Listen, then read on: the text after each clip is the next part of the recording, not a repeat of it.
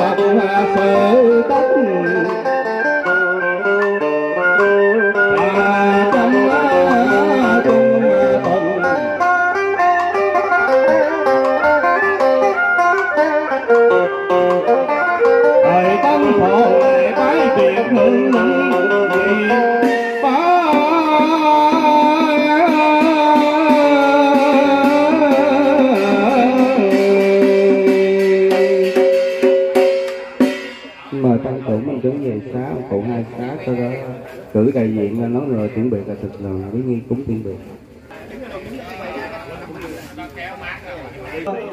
ông bà, cô bác và anh, chị em có mặt trong buổi tang lễ hôm nay. Chồng cha ông chúng tôi, ông lữ văn lộc đã lâm cơn bệnh nặng ngặt nghèo, gia đình hết chạy lo thuốc thang. Và y bác sĩ điều trị, nhưng cơn bệnh nặng không giảm nên cha tôi đành chút hơi thở cuối cùng vào lúc 21 giờ 20 phút, ngày 28 tháng 12 năm nhâm dần. Cha tôi hưởng thọ 88 tuổi đây là sự mất mát lớn của gia đình mà không bao giờ kiếm lại được.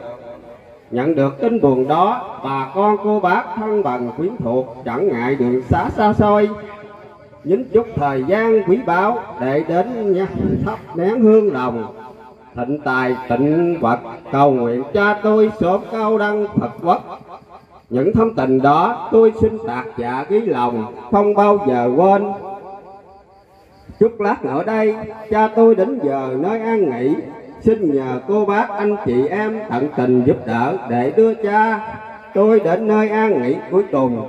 Sau khi đưa cha tôi về nơi an nghỉ, xin mời cô bác đảo lại gia đình để dùng ly rượu gia đình xin đáp tạ. Trong lúc tan gia bối gọi có sơ sót xin ông bà thứ lỗi xin cảm tạ.